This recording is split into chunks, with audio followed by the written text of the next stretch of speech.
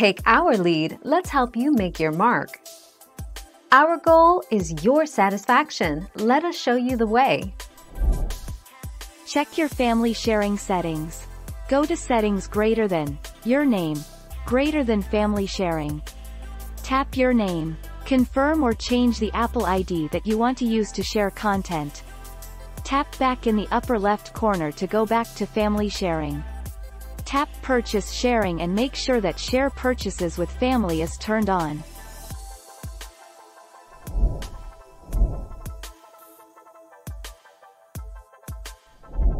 Let's help you make your mark.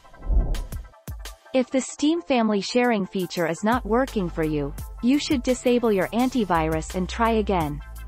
If this works, put an exclusion for the game's file path in your antivirus so you can play the game while the antivirus is still running.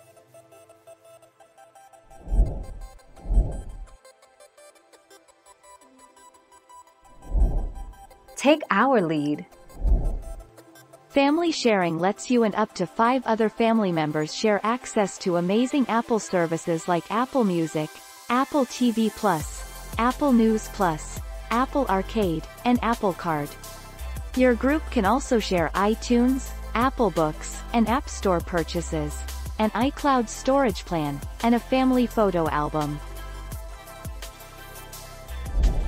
Thank you for watching. Please subscribe and hit the bell notification.